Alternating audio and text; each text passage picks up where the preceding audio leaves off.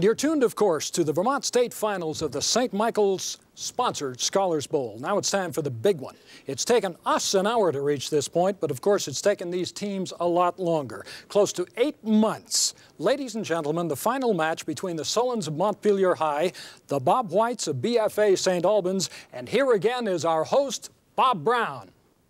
Thank you, Jim. It's time to get the second, or I should say the, the final match. This is the third one of, of the afternoon.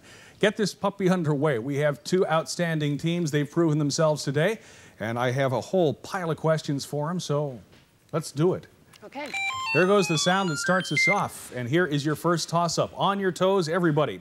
According to Shakespeare, King Richard III once offered to trade his kingdom for 10 points.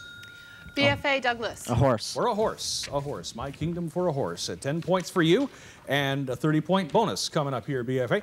For 15 points apiece, given a group of nations, identify the country that borders all of them. Here's your first group. France, Switzerland, Austria, Yugoslavia, what's left of it, San Marino, Vatican City.